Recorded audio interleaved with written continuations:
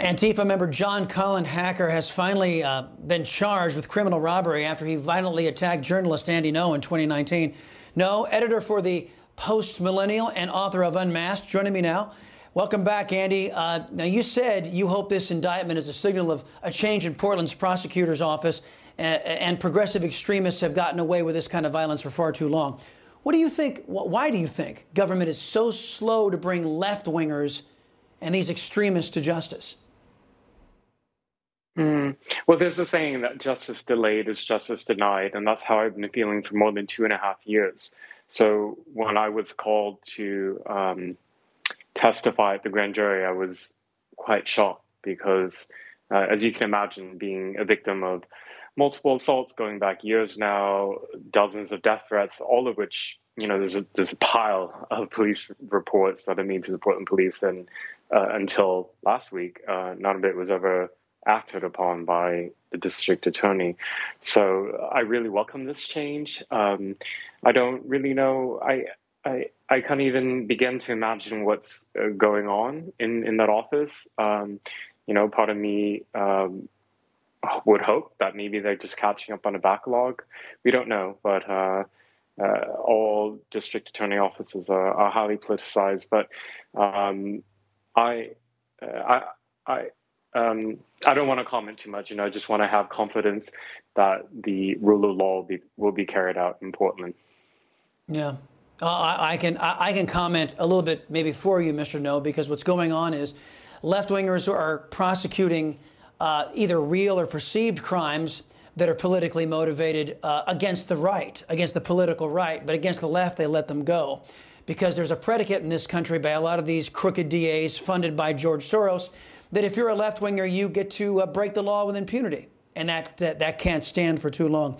Uh, meanwhile, celebrity critical race theory advocate Ibram X. Kendi backtracking after he tweeted out a story about how white college applicants identify themselves as people of color so they can get better treatment and admissions. Critics said he undermined his whole life's work in one tweet.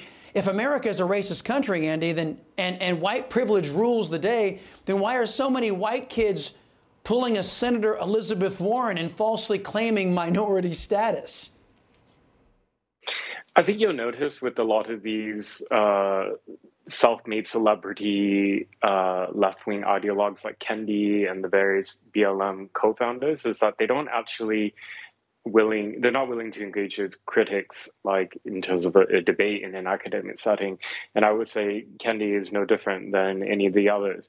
Uh, when he was exposed as uh, tweeting out something that undermined um, his entire um, ideology he just deleted it and has been blocking people who tweeted out screenshots of it. I, I think you know that that's beneath the um, you would expect more from an academic and a professor. But many of these far left uh, identitarian ideologues are, are not professional. They're not good academics. And yep. when when press, um, you know, they, they just go back to calling everybody, uh, any of their critics, racist. Yeah, calling Mr. Kendi an academic, uh, that's uh, that's that's hilarious. The man, the man really, as his tweet and delete proved, he's not really that smart. Meanwhile, the Lincoln Project has taken credit for this tiki torch stunt pulled on Virginia gubernatorial candidate Glenn Youngkin's bus tour. If this kind of lie was told to hurt a socialist candidate, the press would be outraged.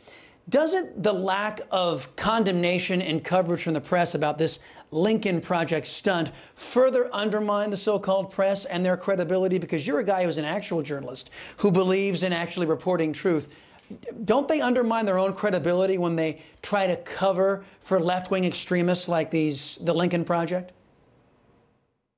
Yeah, one can only imagine the um, convulsions that the entire media apparatus would have if a right-wing group or conservative group carried out uh, a group or individual carried out some type of hoax like this. Um, if you think back to the past few years, these politically motivated hoaxes have been carried out almost entirely by people on the left, Jussie Smollett, um, Lincoln Project, and other Democrat Party operatives. Uh, the press is kind of just moving on from it really quickly now, and understandably because they were made a fool.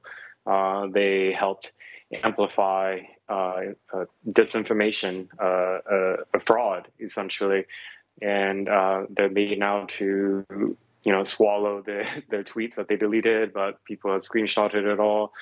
Um, yeah. Yeah, well, that's that's why I think that what you do is such a danger to these folks in the establishment press. You, you make them all look silly because you actually do the job that they are unwilling to do. Andy, Ngo, thank you very much, man. Appreciate the time.